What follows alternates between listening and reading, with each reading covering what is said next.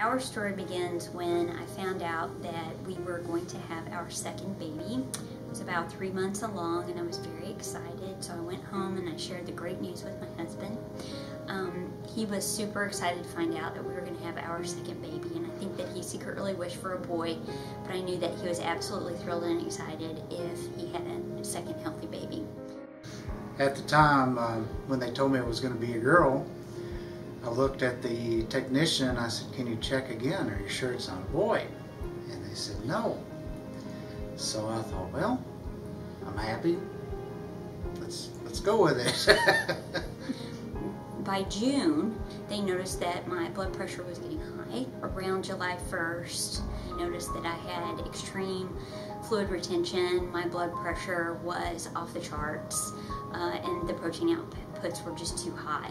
So they sent me to the hospital. And that's where the fun began because I got a phone call saying that uh, my wife was going to the hospital and she would be admitted for possible preeclampsia. I knew that something um, could happen, um, that there was a possibility that they would need to take the baby early, but we were told that every day that the baby could stay uh, in utero gave her an extra chance at life. I remember one afternoon uh, when the doctors rushed in and they had just looked at the results. Um, the OBGYN and the fetal maternal specialist looked at them together and they decided that at that point an emergency uh, C-section was needed. So the baby was in extreme distress and my body was shutting down to preserve the pregnancy. What actually happened was is that the placenta stopped working. So the placenta was not providing the nourishment and oxygen that the baby needed to survive and the baby was in distress. So they were they were very concerned uh, with my uh, organs shutting down and they were concerned that you know, not only would the baby make it, but they were concerned about my life as well. And all I kept thinking about was, um, you know, what would happen to my husband and my four-year-old daughter if I didn't make it, and what would Eric do if I didn't make it, and he was left behind with a newborn, a micro preemie, and a little girl to raise on his own, living so far away from our family. And the minute that I get uh, to the hospital, I'm walking through the hallway, and there's there's probably I'm probably exaggerating, but 40, 50 people crammed inside the room all the way out. And so I'm waiting through the the doctors and the assistants and nurses and trying to find Dina, and I was like, wow, what's going on? And at that time, the doctor, uh, lady doctor, pulled me to the side in the hallway and pretty much explained to me in a couple words or less, this had to happen now. When Eric came into the room, I was telling him to tell them not to take the baby. Um, and he was very calm. And he was my solid rock. And he said that he wouldn't allow anything to happen that would hurt me or the baby. And that he was going to make the best decisions for us so we would have the best outcome. And I think that they had taken Eric aside and let him know that this may be one of the last few times that I might be able to talk to my family. So I remember talking to my dad on the phone before I went into the OR. And uh, my father just said that he loved me.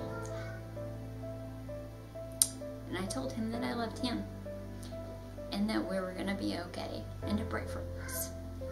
Addie is born, and then I heard this murmur, uh, a little something that was sort of aggravated or mad. And then at the time, uh, they raise her up, and there she is. But I was expecting to see, you know, this child, but instead I saw this child. Eric looked at her, and I kind of turned my head away because I didn't want to look at her because I was afraid that if I looked at her, I wouldn't ever be able to see her again alive. And Eric said, Dina, you need to look at her. You need to you need to see her with your own eyes. And when I looked at her, that was it. I was smitten. I was attached. I was 100% all in to Team Addison making it. Early on, I remember going back to work the next day because I was in the middle of a uh, vehicle launch. I remember walking through the uh, plant and uh, blacked out. The next thing I know, I'm getting uh, put into an ambulance, taken to Sparrow Hospital. so he's like, Well, I'm hearing that you have a daughter in the NICU. So evidently I had been talking about Addie and Dina and stuff. And he said, Well, everything's going to be okay. And I says, Well, okay, that's easy for you to say. He says, uh, Well, you're looking at a 24 uh, week old preemie. And at that time, um, just the chills came over me. It was like the answer from above. It was a very, very bumpy ride um, for the first two months that Addison was in the NICU for the first eight weeks of her life. Uh, she was unable to stabilize her uh, heart rate and her oxygen levels. There were a couple of phone calls that we got from the NICU that said that Addison was in distress and that we needed to come and we needed to say our goodbyes. That was very stressful and very painful. As a dad, uh, there's emotions, a lot of questions. I do remember visiting the website, and there I did find some sections that they described uh, the condition of preeclampsia, and I'm thinking, where was this? Here it is. It's right there. So I started reading through all the information, and uh, actually, it had probably more information than most websites had. And to this day, I, I, I won't forget using it as a resource. The only thing that I really knew uh, March of Dimes for was walkathons and helping babies. I didn't understand all the research that they actually, uh, you know, undertook.